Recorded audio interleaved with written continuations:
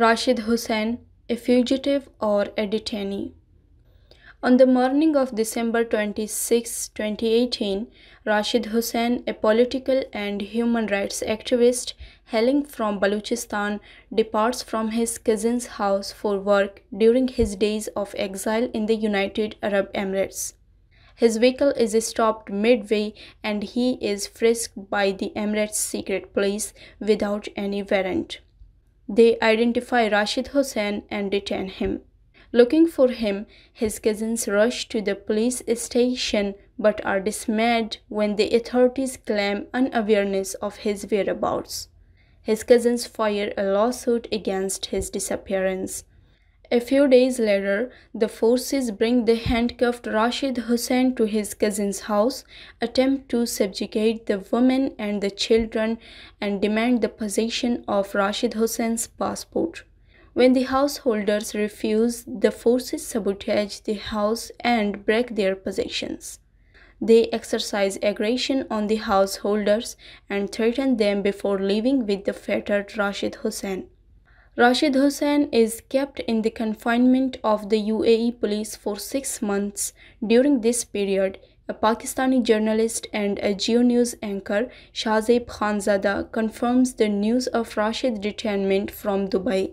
On July 3rd, the Pakistani media broadcasts the news three times that Rashid Hussain has been arrested through Interpol and extradited to Pakistan. Pakistani media authorities officialized the news of Rashid Hussain's extradition and his extradition letter is received from the UAE immigration authorities, which contains the information about Rashid's deportation from Al Bateen Airport, Abu Dhabi to Noshki, Balochistan.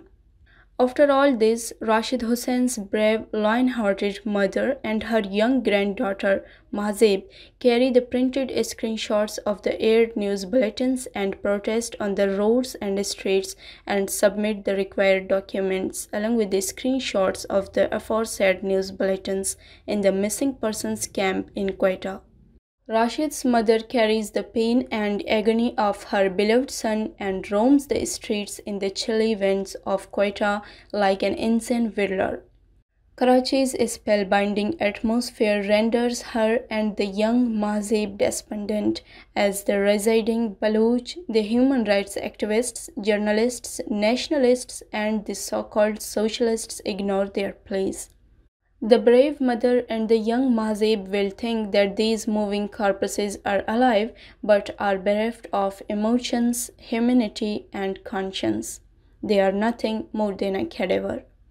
And these journalists who clothe themselves with the tucker of sanctity and consider themselves as the protectors of truth who cry out loud when a few advertisements are missing from their newspapers or news channels are exhibiting a deafening silence over the disappearance of live human beings.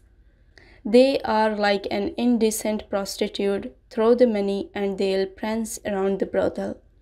This profession journalism has been so distorted through their sycophancy of their overlords that a conscientious person would retch before calling himself a journalist. Genuflecting the army personnel and licking the boots of the intelligence services officers is the true purpose of their lives.